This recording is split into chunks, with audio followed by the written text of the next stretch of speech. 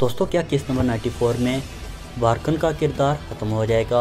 और हान और हेलो फिरा को जैसे कि बास्तीनों ने पकड़ लिया है, क्या एनागोल किला फतह होगा? क्या सिल्वी खातून का किरदार ख़त्म होने वाला है?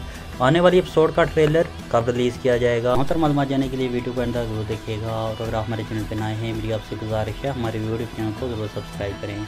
दोस्तों, जैसे कि सिल्वी खातून और बारकन का किरदार मेहमान अदाकार थे, जो कि आने वाले एपिसोड में ख़त्म हो जाएँगे। इस तरह बारकन की गद्दारी सामने लाई जाएगी और इसी तरह बारकन का खात्मा कर दिया जाएगा। और अगर बात करें एनागोल किला की तो उस्मान भी और तुर्गत अलब एनागोल किला फतह कर लेंगे और हान और हेलो फिरा को यार हिसार किला में ले जाया जा सकता है। इस अगर बात करें ट्रेलर की तो हफ़्ते को या फिर इतवार को ट्रेलर रिलीज़ कर दिया जाएगा। कोलिश उस्मान की रेटिंग शानदार ही।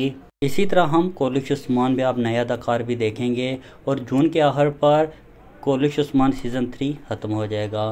कोलिश उस्मान की तमाम तरह अपडेट के लिए आप हिस्ट्री विद कैसर को ज़रूर सब्सक्राइब करें।